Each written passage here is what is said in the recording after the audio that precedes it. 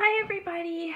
I wanted to do a super quick kind of stamping basics video. I haven't done one of these in a while and I think that there's some changes right now that is confusing people about stamps. So what I'm going to do is I'm going to show you three different types of stamps um, and a couple of different just very basic techniques that you can do using pretty much just stamps, ink, and paper.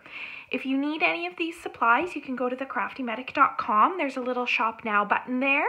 Uh, if you're watching this on YouTube or Facebook, there should be links um, as well. So the first thing I'm going to show you is photopolymer stamps. Now, we we're phasing out, I should say, the wood mount stamps, which is what most people are familiar with. But photopolymer stamps are becoming really popular. These are called different things from different companies. Stampin' Up! calls them photopolymer. This is a celebration stamp set, so you can get this for free right now. And this is what photopolymer stamps look like. So they're totally clear. You can see through them exactly what you're stamping. These are best for things that you need to line up. So that's why you'll see all of our two-step or multi-step stamping um, sets are now photopolymer. To use these, you're going to peel them off of that clear backing that shows you what um, what the stamp actually does. I'm going to take these two because I'm going to line them up and then I'm just going to take a greeting here. So to mount these up, you do need clear blocks. And what we're going to do is we're going to mount these up onto those clear blocks, just like that. So all I'm doing is pushing the block onto the back of the stamp and then you can see it there. You're to need some paper, so I'm using the note cards. I'm to use the note cards for all my cards today.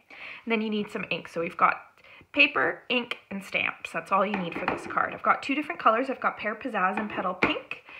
And I'm to open these both up. if you don't know how to open the ink pads, we'll do that in another in another video. How's that? I want to keep this one not too, too long. All right, so I'm just doing light taps on here. If you push too hard on all these foam ink pads, you're gonna end up with ink everywhere. This is where I really like the analogy of kissing the bunny. Just super light taps and you wanna kind of move it around a little bit and that's what's gonna keep your ink nice and clear. Now I don't know if this is gonna be too dark for what I have planned. No, I think that's gonna be okay. So I'm just gonna stamp this oh, I see, I just saw a few little bubbles in the ink, so I just wanted to tap it a few times again. And then you're just gonna go straight down and straight up. Don't rock your stamp around. And if you wear bifocals, be really careful that you're going straight up and down. People with bifocals tend to angle the stamps a little bit when they're stamping. Now we're gonna do the same thing with the petal pink. And now you can see where this becomes really cool. You can actually line up your stamps. And I'm going to line up with the little circles and the dots. And it's super easy to get that lined up properly. So that's the kind of the benefit of the photopolymer stamps. I'm going to go ahead and I'm going to take my Memento Black here and I'm going to just stamp a greeting over that.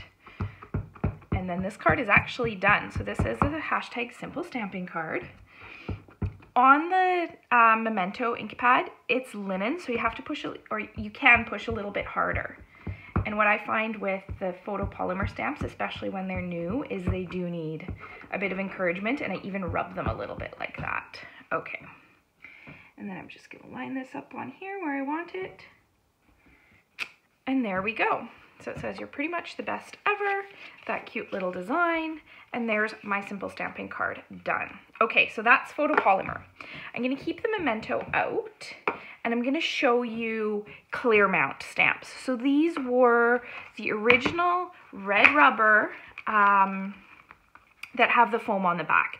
So they're called clear because they go onto your clear blocks. They're not called clear because you can see through them. This is what causes, causes some confusion for people. And this is the Accented Blooms stamp set. They do come with labels. I'm to admit here, I don't use these labels because what I find is when I put the labels on, they don't stick very well. When you pop these out the first time, they are attached at the rubber. And some of them will have these center pieces that you can actually pop out, and that's just to make your stamping a little bit easier. Keep this, it's still a very useful piece. And then you have to peel this paper off the back. If you're going to attach the label, you can do it now. I'm not going to, and I'm gonna show you with the, with the cling mounts how we do that. So same thing with these, put them face down, and then put your clear block over top. Um, how's this gonna fit best? Just push straight down like that. And again, I'm gonna use the note card here.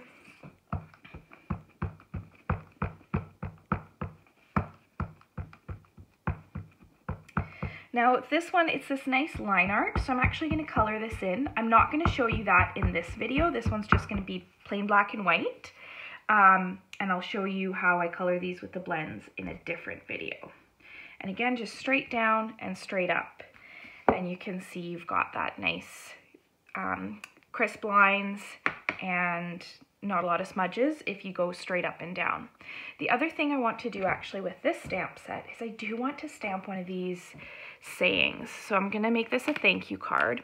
And this is kind of my little bonus tip here is to do some punching. So what we're gonna do is we're gonna stamp this saying onto a scrap piece of Whisper White. So I'm gonna ink this up with the solid stamps. It can be really hard. See how it's not really even? I actually probably need to re-ink this pad because um, I'm getting a lot of that kind of not fully even. Rub it a little bit and then tap. That seems to help with that. And again, on the Memento pad, pushing fairly hard, harder than you would on your um, foam pads. Okay, there we go. Now I'm gonna stamp this, again, straight down and straight up. Beautiful.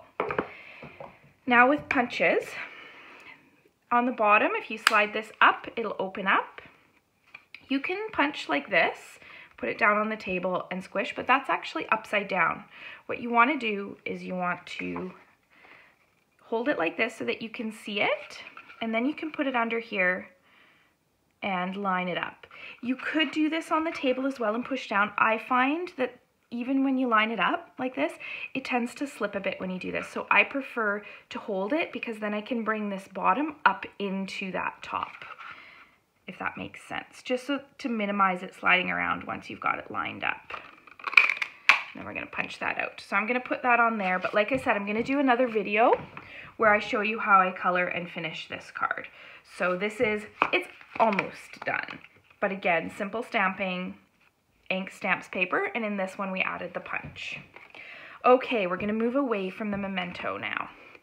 And we're gonna move into StazOn. Now StazOn is basically permanent marker. And what I'm gonna show you is I'm gonna show you a cling mount stamp set. So this is our new, um, our new style of stamp sets. They're very similar to the clear mount in that they are the red rubber and they have stickers. Now on these ones, I do put the stickers on and I'll show you why. So this is So Happy Together and this is from our celebration items as well. So this is another one you can get for free. I'm taking the paper off the back there and now I'm gonna put the sticker on the back. So I need to find which image this is on here. And then I'm gonna peel off the first layer of paper on that sticker. And now I've got this exposed and I've got this guide along the edge. And I'm just gonna line that up. And you wanna get this fairly precise because if you don't get it right, you're pretty much hooped. These stickers stick really well. Push it down and then you can peel this off your paper. If you forget how to do this, there is instructions in here and there's a link there to a video from Stampin' Up as well. So now we've got a sticker on the back and we can actually mount this onto a clear block. These are super, super sticky. When you go to peel these off, be really careful, especially if you've let them sit for a while. If you just kind of pull, you're gonna pull that foam right apart. So what you wanna do is you wanna get a fingernail right under that label on a corner and start peeling. Or if you're like me and don't often have fingernails, you can use your take your pick tool. And I like to use this spatula end. And I'll just get that under the label on a corner and peel it up like that. These are super sticky. They'll actually stick to your finger this way. um, but we want it on the clear block for this. And then what I'm actually, actually, you know what I'm gonna do is I'm gonna set up my card the way I want it. Oh, you know what, let's do a horizontal card. I'm gonna put that on there. And then I want a little greeting and maybe some some flies. And again, I'm going to show you just how to do that, um, the labels again quick, because I've got these two other stamps here. So I've got Hoppy for you and those flies.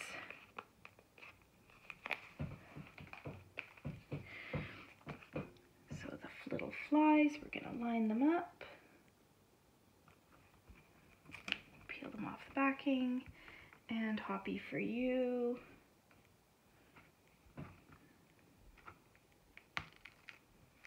There we go. Okay. So now we'll get this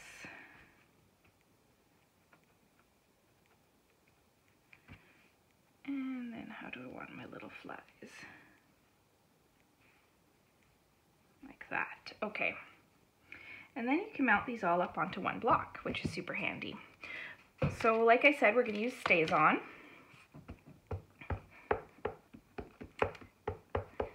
And this, you'll be able to smell it, that it's like permanent marker. And again, it's kind of that linen firmer pad, so you can push a little harder. And then we're gonna stamp this. Okay, it's not completely perfect. I'm a little off kilter with my greeting, but that's okay. It's handmade. So once you're done with your stamps, I like to keep the red rubber so that I know where my stamps are. With the photopolymer, it's easy because you have that sheet. But with these, I like to put them back and I'm not gonna clean them. I'm gonna show you how to clean them in another video. And I just put them back in there so that I know that all my stamps are there. So that's the cling, very similar to the clear, but different. And the difference is that stickiness on the sticker. So you want to put the sticker on there and be careful when you're taking it off of things. This one, I'm gonna be coloring this in as well in another video, um, but that's my little simple stamping card for, for those. Again, if you need any of these things, um, any of these stamp sets, any of these inks, you can go to thecraftymedic.com, follow the links if you're watching on Facebook or YouTube, and, uh, and follow the shop button there. Um, I'd love to see your projects, so just tag me at CraftyMedic, and I'd love to see what you do with what you've learned here. Happy stamping!